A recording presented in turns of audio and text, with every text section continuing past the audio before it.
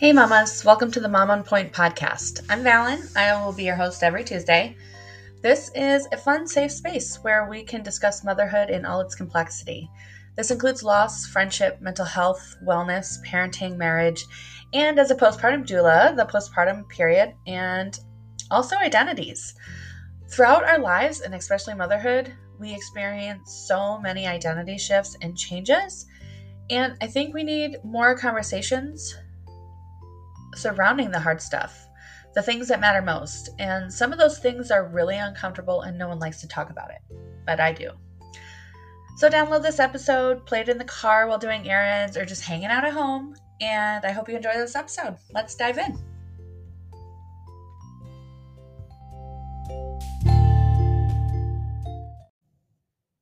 Hey, mamas. So happy you're here with the Mom on Point podcast for this holiday episode. Um, a lot's been going through my mind. Holidays have been hard. Um, I put a post on my page and had some moms comment about just the hard things that they're going through right now in this season. And, excuse me, a lot of us struggle during the holidays. I know we see a lot of happiness and, you know, hashtag mom goals and stuff on Instagram with cookie decorating and decor and presents and things like that. But that's not the reality of the holidays. The holidays are a big time when we reminisce. We have some of our most cherished memories with people who are no longer with us. We are missing people who are cannot be in our lives we're missing babies that we've lost. We're struggling financially, or we're burnt out, or we just don't have the energy. The last few years, I mean, since I lost Evelyn, so 2019, um, pandemic started March 2020. So after that, but it's been, I've had so much trouble finding joy, right? I, I'm on a journey. I've been sharing that with you guys, and I found how to do it. But even knowing how, it's hard sometimes. Sometimes I just want to sit in my grief, in my sadness, and kind of work through it. And so I just want to kind of talk about all the things that people are going through right now that you might not have thought about or you wonder why somebody you know isn't happy, or you're wondering how you can fix it. And really, there's no, I mean, there's no quick fix. You can't just, you know, change your thoughts in one day. Um, things take time. But I guess we just kind of want to talk about that.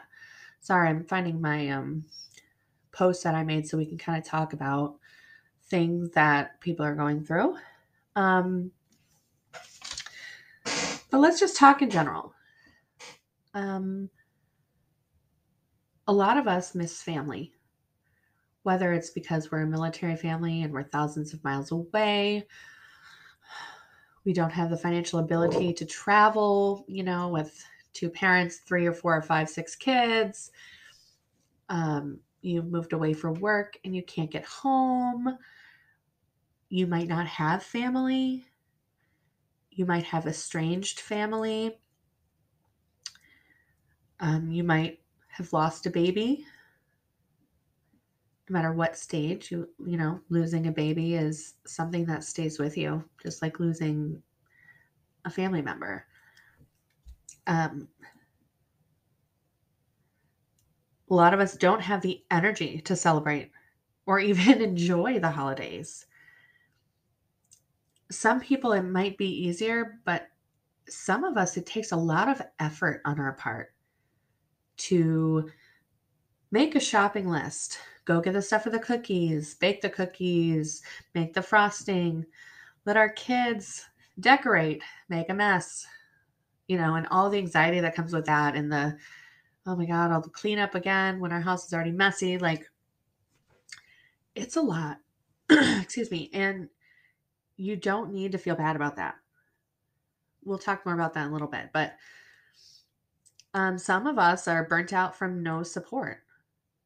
You know, um, we don't have our parents that come down and take care of the kids so we can have a break or just stay with us while they play, you know, and we can take showers or we can run for groceries or whatever it is. We don't have that. My dad was visiting, but he's getting older and it's harder for him to drive down here eight hours. Um, so that's just not something we have. And honestly, I, when I see my friends and pages and they just, they have these great families and they have support and they have people they can count on, you know, to help them with the kids, to help them get through things. I am freaking jealous. Like, I like have a FOMO with grandparents. I always feel like I'm missing out because I don't have parents that are active in our kids' lives.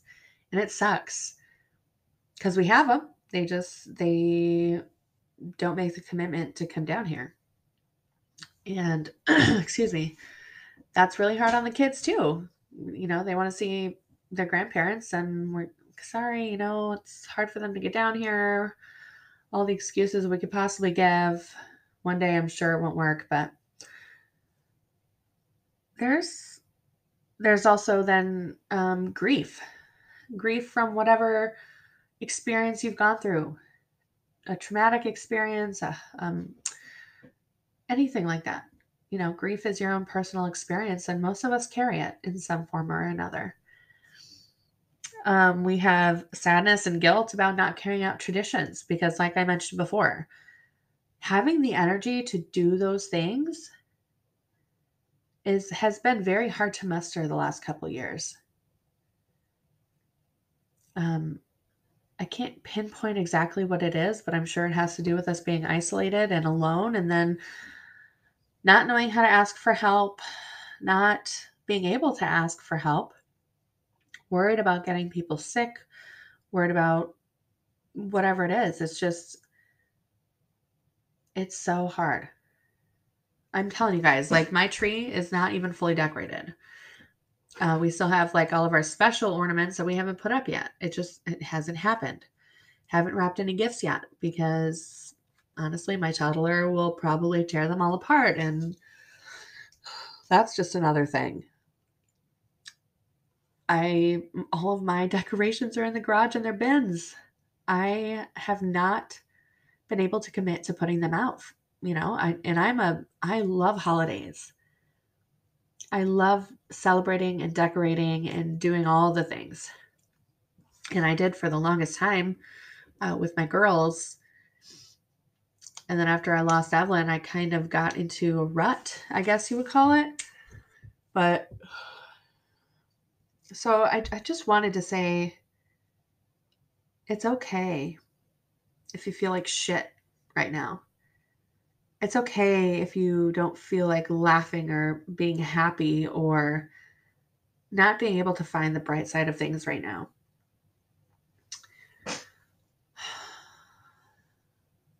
Like, I don't know how we don't all have mental breakdowns, but that's besides the point, I guess. I'm just, you know, for me, something I've always missed, something I've always, always, um, wanted was a mom. A mom I could count on, a mom that would be there for me, a mom that doesn't hold things against me and, you know, calls me names or uh, uses me to her advantage as much as possible. You know, just, I always just wanted a good mom. And during the holidays, that hits me harder and it sucks. I'm also missing my grandma. my grandma Irene died last year um, on the 22nd. So, two days from now, it'll be a year. And there was a lot of terrible circumstances around that. But my greatest memories are with my grandma at my grandma's house. You guys, my grandma had this living room, okay? And it was let me just let me see if I can explain this in just amazing detail. The oh, excuse me, the carpets were bright red. There were bright red velvet chairs, armchairs in the living room, swivel chairs actually. A red couch that matched the chairs. The wallpaper was white and red, white background, red flowers that were velvet. Like,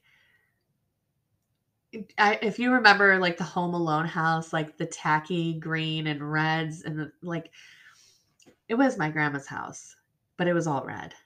But during the holidays, it was the most amazing thing. They would get an eight foot tree and it would be decorated with just the most beautiful things.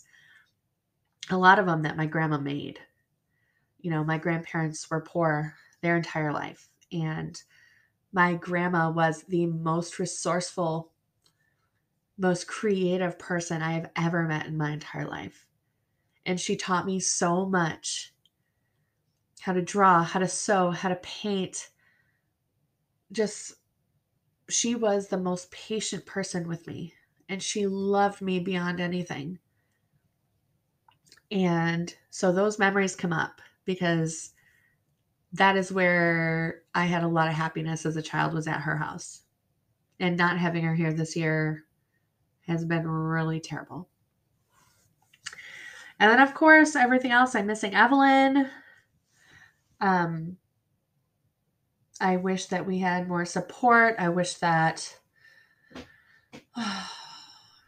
you know, just you guys were all going through hard things.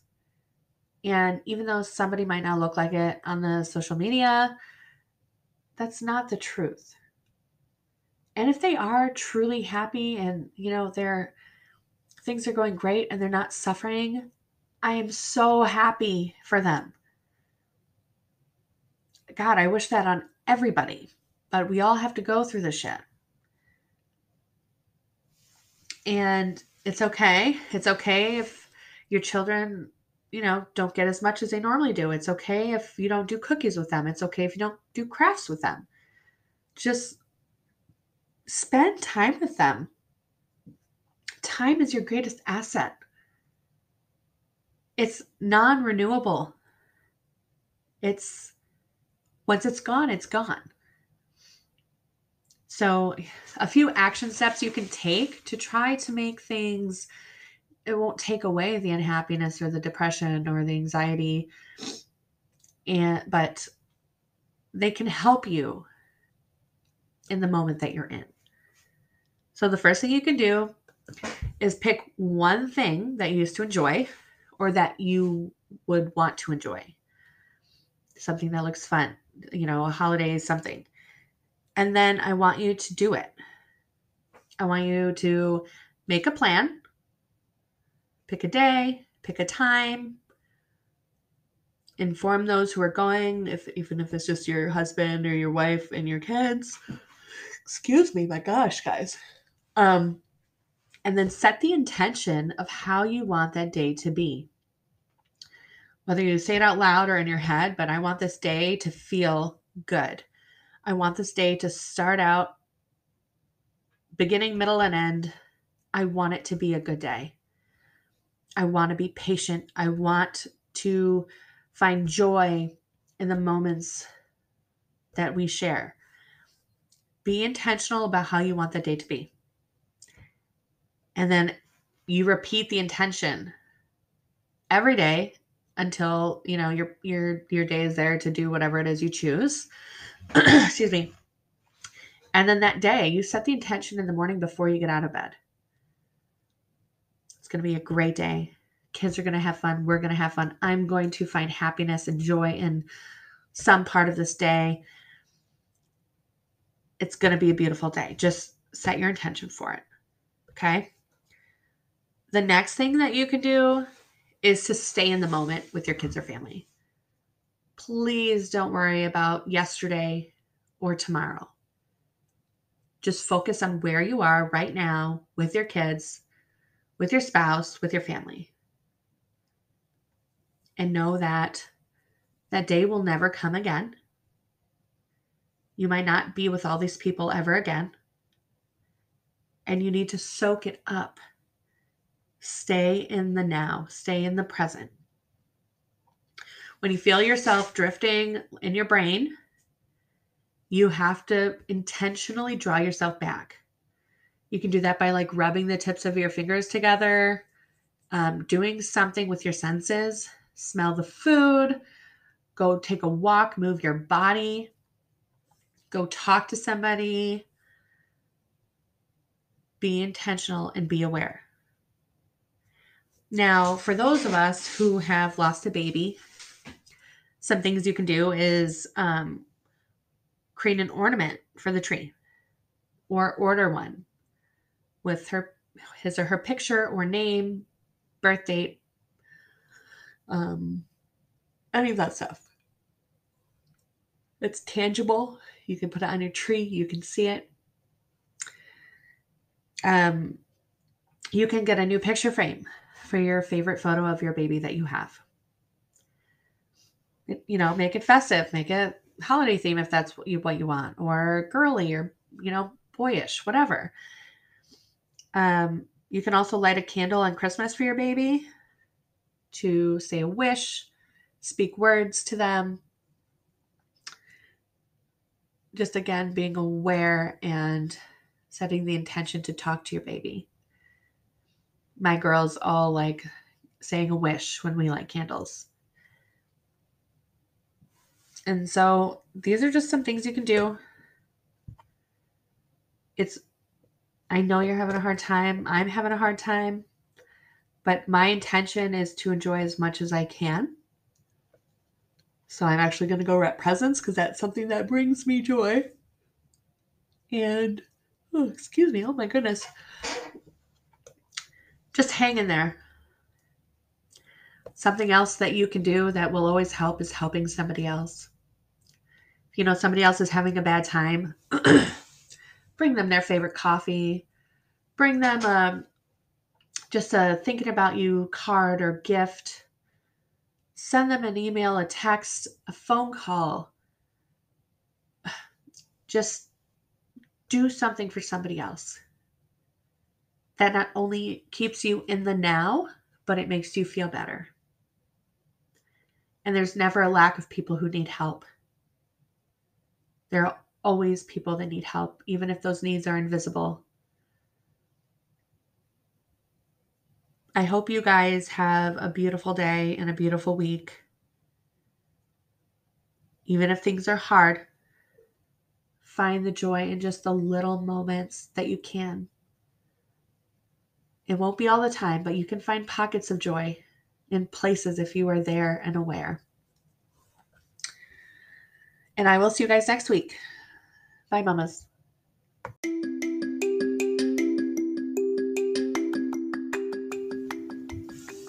Thank you so much for joining me with the Mom on Point podcast. I hope you found some inspiration, some joy, maybe some new information that can help you heal, feel better, or just get through the day. If you've loved the podcast, please like and comment and let me know what you think. I read and respond to all comments personally, and it really helps others discover me who may need my message too. You can also find me on Instagram at ValenWeb. You can email me at info.valenweb at gmail.com. Again, that's info.vallenwebb at gmail.com.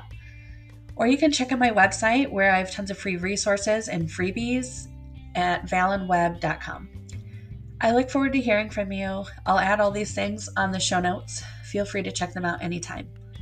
I hope you have a wonderful week, and I'll see you next Tuesday.